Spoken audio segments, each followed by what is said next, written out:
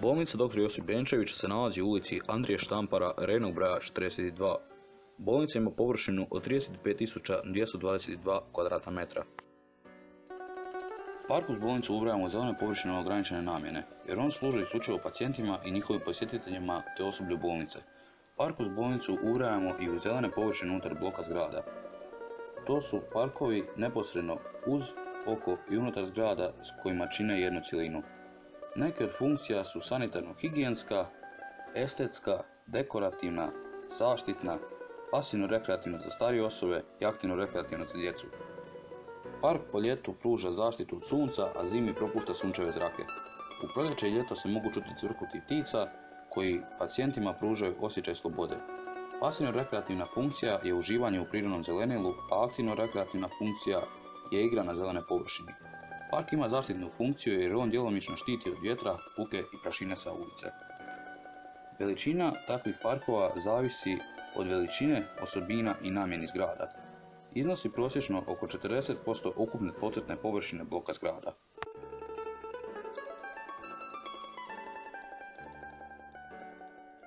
U prednjem dijelu kod glavnog ulaza se nalaze najviše stabla. U središtu se nalazi mala američka tuja koju okružuje obična trava i lavanda. Put oko sjevernog dijela parka ima svoje središte, a put ide oko njega i povezan je sa središtem. Uz glavni put ima puno manje raslinja visokog rasta. Omjer grmlja i drveća u parku iznosi 2 naprama 3 i raslinje prekriva jednu trećinu površine bolnice.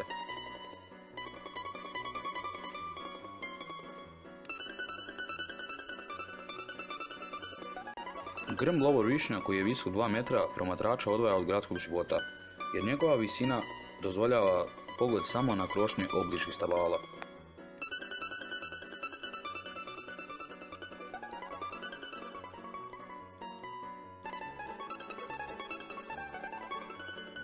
Nisko šišana ograda od šimšira usmjerava pogled ka žarištu, to jest skulpturi glave Josipa Benčevića.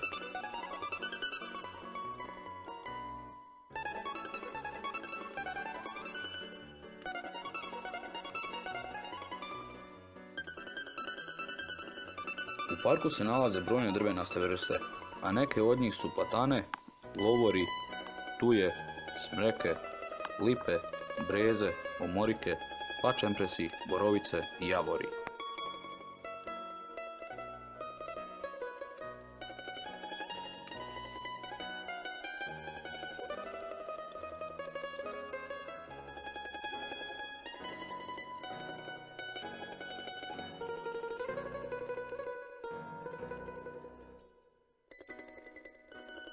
Uvučeni dijelovi nemaju izraženih motiva i staza ne prolazi kroz njih, jer oni služe za upotpunjavanje slike prirode.